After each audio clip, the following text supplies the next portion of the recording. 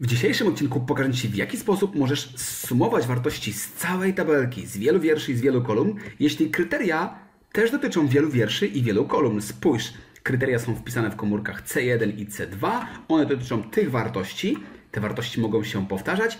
Pomarańczowym kolorem przy pomocy formatowania warunkowego oznaczyłem te wartości, które mają zostać sumowane. Oczywiście formuła ma działać tak, aby po zmianie kryteriów odpowiednie wartości były sumowane. Gotowy? Lub gotowa? Do dzieła! To będzie bardzo fajne, bardzo fajne zadanie, ponieważ będziemy korzystali z operacji tablicowych. Brzmi trudno, ale spróbuję zrobić to, co robię najlepiej, to czym zarabiam na życie, czyli wytłumaczyć to tak, żeby wszystko było jasne. Do dzieła. Po pierwsze, powiem Excelowi, aby sprawdził, które z tych miast są równe temu miastu, które jest zdefiniowane jako kryterium. Więc przyrównuję wartości z zakresu, wiele wartości, do jednej wartości. W tym momencie wchodzimy w operacje tablicowe. Z racji tego, że wiele wartości jest przyrównywanych do jednej wartości, otrzymamy wiele wyników. Jakie to będą wyniki? Naciskam F9, aby podejrzeć, co się kryje pod tą operacją porównywania wielu wartości z jedną wartością. Spójrz, ten fałsz odpowiada przyrównywaniu Warszawy do Łodzi Oczywiście fałsz. Tutaj Łódź do Łodzi, Łódź równa się Łódź, prawda. Potem Katowice równa się Łódź, fałsz. Więc ta tablica z prawdami i z fałszami mówi mi, w których wierszach mam interesujące mnie wartości, które wiersze spełniają moje kryterium. Klikam Ctrl Z, aby wycofać tę operację oszacowania, wezmę tę operację w nawiasy, aby wymusić kolejność działań odpowiednią i przemnożę tę tablicę z prawdami i z fałszami przez drugą tablicę. A ta druga tablica to będzie sprawdzenie, które z tych nagłówków, czyli które z tych różnych identyfikatorów, tych kodów są równe temu, który jest w komórce C1. Zamykam nawias. Jeżeli chcę podejrzeć tylko fragment formuły, to muszę zaznaczyć ten fragment i dopiero wówczas nacisnąć F9. Znowu otrzymałem fałsze i prawdy. Spójrz, ten fałsz pierwszy oznacza sprawdzanie, czy N1 równa się N2. Oczywiście fałsz. Ta prawda oznacza sprawdzenie, czy N2 równa się N2. Oczywiście prawda. Więc ta tablica pokazuje mi, w których kolumnach są wartości, które będą miały zostać zsumowane. Kliknę Ctrl Z, aby wycofać się z tego oszacowania. Na chwilę wyjdę z tej formuły i włączę coś pomocniczego, żeby lepiej było mi wytłumaczyć Tobie, co tutaj się dzieje. Jeżeli chcesz wyjść na chwileczkę z formuły, ale nie chcesz tej formuły tracić, a nie możesz jej na przykład zatwierdzić, bo ona wygenerowałaby błąd albo jeszcze jest nieskończona, to przed znakiem równości wpisujesz jakiś tekst, na przykład spację. Formuła wtedy przestaje być formułą, klikam Enter i teraz a, chciałbym włączyć tutaj jedną rzecz. Pokażę Ci coś. Te prawdy i fałsze, które przed chwileczką Ci pokazywałem, a ja je wyświetlę tutaj przy tych miastach i przy tych identyfikatorach, żeby było widać, w której kolumnie i w którym wierszu jest to, co nas interesuje. Sprawdźmy, czy to działa. Jeżeli teraz zmienimy N2 na przykład na N1, to zobacz, tylko prawda jest w tej kolumnie, prawdy są tylko w tych wierszach, więc tylko te trzy pozycje, te trzy liczby mają zostać sumowane. Wejdę do formuły z powrotem, usunę spację sprzed znaku równości i teraz jeżeli zobaczymy, co wyjdzie z tego mnożenia tych dwóch tablic przez siebie, przypominam, tu jest tablica z prawdami i z fałszami, to jest ta tablica. Tutaj jest kolejna tablica z prawdami i z fałszami, to jest ta tablica. Więc mnożenie tych tablic przez siebie da mi jeszcze inną tablicę. Tablicę, która będzie takiej wielkości, jak liczba wierszy i liczba kolumn w obu tych tablicach przemnożone przez siebie. Więc będzie to tablica takiej wielkości, odpowiadającej tym wielkości yy, tablicy z tymi liczbami, które ma, mają być sumowane. No dobra, ale sprawdźmy to. F9. Zobacz, co się ciekawego dzieje. Nie ma już wartości prawda i fałsz. Mamy zera i jedynki. Skąd one się wzięły? Zobacz ten, te pierwsze kilka zer do średnika to są wartości z pierwszego wiersza tablicy, która została wygenerowana. To są wartości, które wynikają z mnożenia fałszu przez te wszystkie wartości.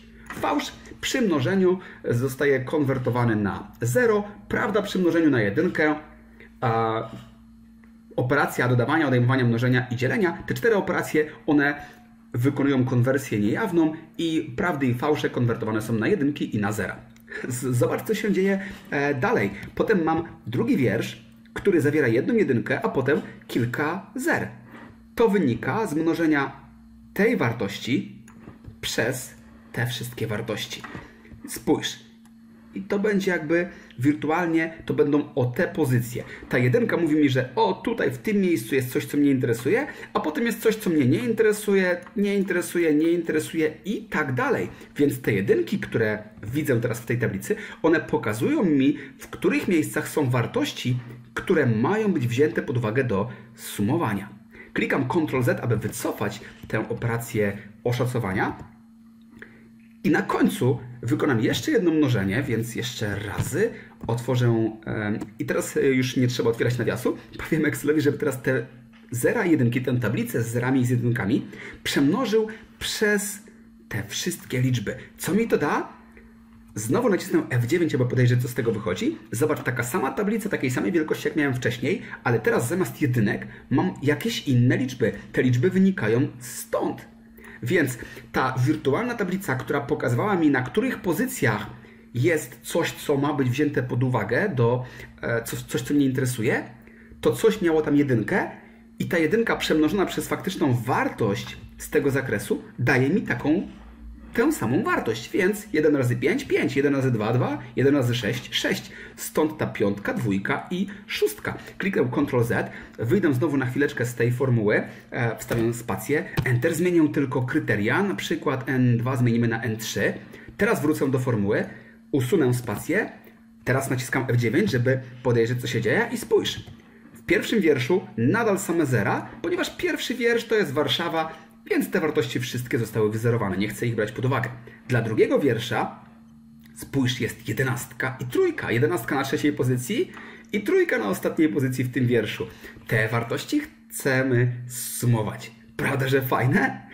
Zobacz, jeżeli teraz byśmy chcieli to wszystko sumować, klikam Ctrl Z, aby cofnąć to oszacowanie i muszę wrzucić to do funkcji, która te wartości zagreguje, sumuje w tym przypadku. Więc może to być na przykład funkcja suma iloczynów. A czemu akurat ta?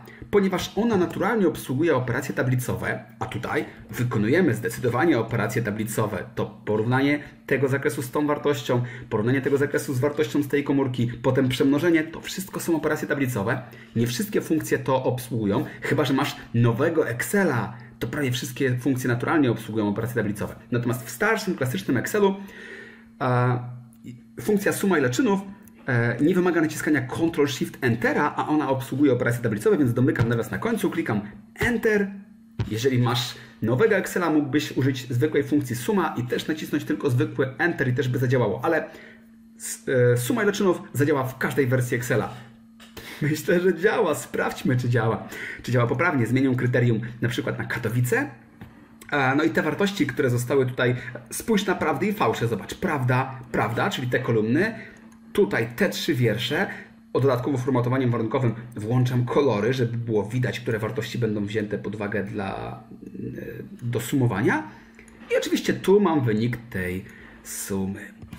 Myślę, że to było mega fajne. Jeżeli Ci się podobało, to oczywiście daj znać w komentarzu pod filmem. Jeżeli Ci się nie podobało, to znaczy, że, że musisz poćwiczyć Excela, bo jak poćwiczysz, to zobaczysz, że to w tym drzemią ogromne możliwości.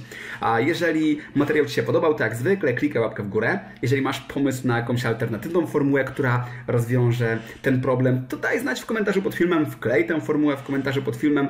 Przypominam, plik do pobrania ten, na którym klikam, zarówno arkusz wersji zrobionej, jak i ten, na którym możesz poćwiczyć. Link znajdziesz w opisie pod filmem. Cóż, to wszystko na dzisiaj i do usłyszenia w kolejnym odcinku.